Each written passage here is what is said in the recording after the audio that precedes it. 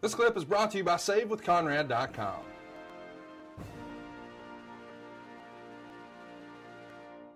Well, we have some uh, some fan questions that we want to jump into as we wrap it up this week, and uh, we have a question from AdFreeShows.com. My push member Chase Lamar, buddy, and he said, "Kurt, you were absolutely on fire at this time.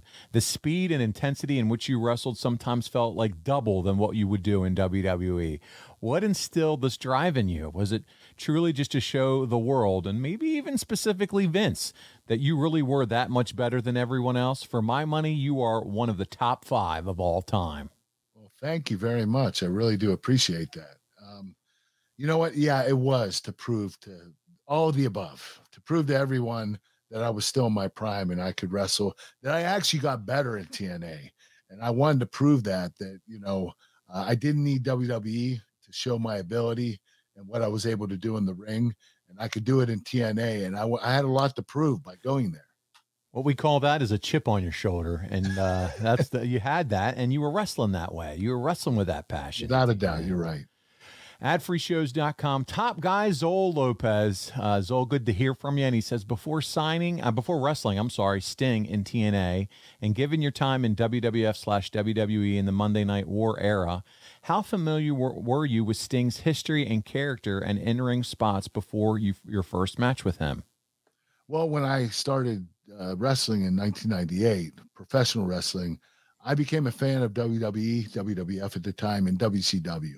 And Sting was one of my favorite wrestlers. So I, I studied him, I watched him. I thought he was an incredible athlete, great character, a great talker. He had the whole ball of wax. But what amazed me about him was his size and him doing like these dives over the top rope onto the floor outside the ring. It was just like, what a what a megastar, what a super athlete. You know, yeah. this guy is incredible, and what he was able to do in the ring is unparalleled. So uh, I think we've answered this one as we've gone through the show, but I'm going to ask it anyway because it's on behalf of Larry Francis, our buddy, and he says, "Does it bother you that your NWA Championship win still hasn't been recognized yet?" I guess the problem here was that the morning before you won, NWA pulled itself away from TNA. That's the whole issue there.